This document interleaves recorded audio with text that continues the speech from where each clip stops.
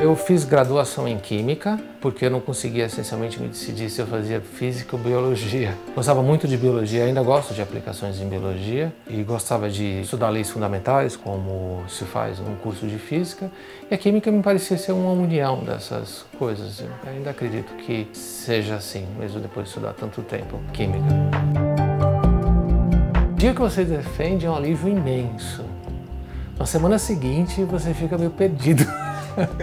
que o seu propósito de vida já passou, você, você passa tanto tempo né, trabalhando para terminar a tese que parece que não vai acabar nunca. Por exemplo, eu tenho uma estudante terminando agora, acho que ela, todo dia eu tô lá para perguntar de resultados e se ela já escreveu isso ou aquilo, acho que ela, no dia que ela defender, ela vai soltar fogos e né, dar uma festa e dizer que não quer mais viver pelo menos por uns três anos. Eu acredito na disciplinaridade e na interdisciplinaridade. Desde o começo, então, com essa essa vontade de estudar essencialmente sistemas biológicos, uma abordagem mais quantitativa, sempre eu, eu sempre segui uma carreira interdisciplinar, com modelagem computacional, simulação, é, simulações atomísticas, aplicada a sistemas moleculares e biológicos. Eu sempre fiz um pouco desses, desses dois. Por exemplo, é meu interesse na terapia fotodinâmica, na verdade, veio um interesse coletivo de vários professores aqui no tema, é, e aí eu fui ver que tipo de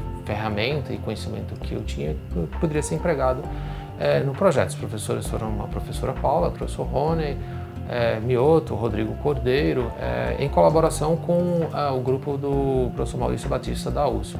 Então, a ideia da terapia fotodinâmica é que você tem um fármaco e esse fármaco ele é ativado pela, pela luz, então você consegue localizar o efeito. Essa é a ideia fundamental da, da terapia fotodinâmica. Você quer induzir morte celular, mas num local bastante restrito, em que você tem o fármaco e você tem a aplicação de luz. O projeto em si envolve pessoas de diferentes formações, desde médicos até simuladores como nós. Né?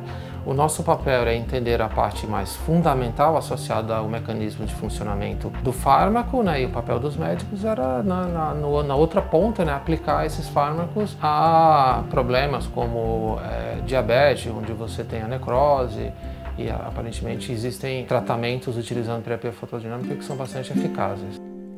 Eu estou bastante entusiasmado em dois projetos que eu tenho tentado levar simultaneamente. O primeiro são abordagens na tentativa de você ter uma descrição, uma formulação de processos eletroquímicos utilizando simulação e modelagem, teoria de primeiros princípios. Então, aplicações em eletroquímica, descrição do processo eletroquímico, onde você tem a transferência de elétron de ou para né, um, um sistema, esses processos fundamentais são muito importantes em baterias e células a combustível.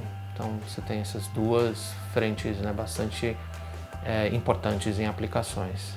O outro projeto que eu tenho também é, investido tempo e estou bastante entusiasmado é bem diferente, é mais sobre o entendimento, é um, projeto mais fundamental, o entendimento de como a, o movimento, que chama movimento de larga amplitude de, de proteínas, é, influencia na velocidade das reações catalisadas por enzimas. Então, enzimas são proteínas e é, enzimas e proteínas não são corpos estáticos, elas mexem e é, existe um, um, bojo de conhecimento indicando que essas, esses movimentos não são aleatórios, eles são funcionais. Atualmente existe uma discussão bastante intensa na literatura né, se esses movimentos também alteram a atividade catalítica de enzimas e podem influenciar na velocidade né, e, e até na especificidade de reações químicas.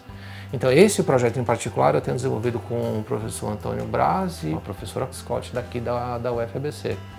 Né? E, e, é um projeto bem ligado à biologia, né? o professor Antônio é, é biólogo, Scott é matemático biólogo, né? e eu sou químico. Esses dois projetos que eu mencionei são coisas que eu tirei da gaveta nos últimos dois anos, ficaram na gaveta por dez anos.